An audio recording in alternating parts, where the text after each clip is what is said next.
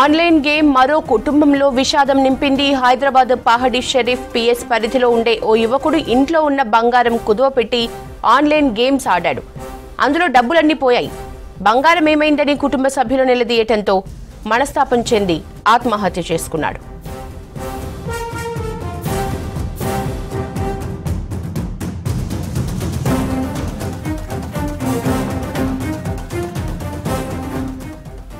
మామిడిపల్లికి చెందిన చంద్రయ్య శశికళ దంపతుల కొడుకు రాజశేఖర్ కొంతకాలంగా శంషాబాద్ ఎయిర్పోర్ట్లో ప్రైవేట్ ఉద్యోగం చేస్తున్నాడు.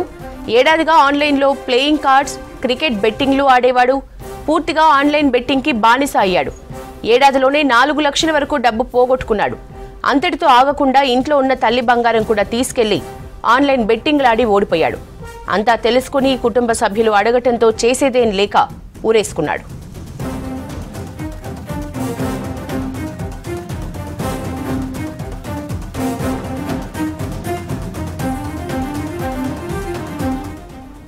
ఆన్లైన్ గేమ్ మరో కుటుంబంలో విషాదం నింపింది. హైదరాబాద్ పహాడీ షరీఫ్ పిఎస్ పరిధిలో ఉండే ఓ యువకుడు ఇంట్లో ఉన్న బంగారం కుదువపెట్టి ఆన్లైన్ గేమ్స్ ఆడాడు. అందులో డబ్బులన్నీ పోయాయి. బంగారం ఏమైందని కుటుంబ సభ్యులు నిలదీయటంతో మనస్తాపం చెంది ఆత్మహత్య చేసుకున్నాడు. మామిడిపల్లికి చెందిన చంద్రయ్య శశికళ దంపతుల కొడుకు రాజశేఖర్ కొంతకాలంగా శంషాబాద్ ఎయిర్పోర్ట్లో ప్రైవేట్ ఉద్యోగం చేస్తున్నాడు. ఏడాదిగా ఆన్లైన్లో ప్లేయింగ్ కార్డ్స్ క్రికెట్ బెట్టింగ్లు ఆడేవాడు. పూర్తిగా ఆన్లైన్ బెట్టింగ్కు బానిసయ్యాడు. ఏడాదిలోనే నాలుగు లక్షల వరకు డబ్బు పోగొట్టుకున్నాడు. అంతటితో ఆగకుండా ఇంట్లో ఉన్న తల్లి బంగారం కూడా తీసుకెళ్ళి ఆన్లైన్ బెట్టింగ్లు ఆడి ఓడిపోయాడు. అంతా తెలుసుకుని కుటుంబ సభ్యులు అడగటంతో చేసేదేం లేక ఊరేసుకున్నాడు.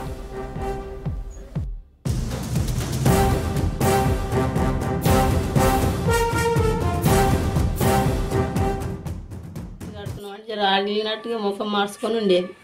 ఏమైందంటే ఏం కాలేదన్నది కానీ గిట్లనే అయ్యే చేసినాక తర్వాత తెలిసి అడిగినా నేను అది లేదు డా ఎవరు తీసుకొని నువ్వు తీసుకున్నావారా నువ్వు పెట్టి ఇట్లా కడుతున్నావని అడిగిన. అంటే నేను తీసుకోలే మమ్మీ నాకు అవసరం లేదు నేను బంద్ చేసిన పెట్టా అన్నాడు అంతే ఇక. నువ్వు నన్ను ఇస్తే ఎవరికైనా ఇస్తే నాకు చెప్పేవాడు నేను తెచ్చుకుంటా ఏమన్నాను అన్న. అంటే ఇక ఏం చెప్పలే నేను తీసుకోలే అన్నాడు ఇక డ్యూటీకి వెళ్ళిపోయాను రోజు పోయినట్టు.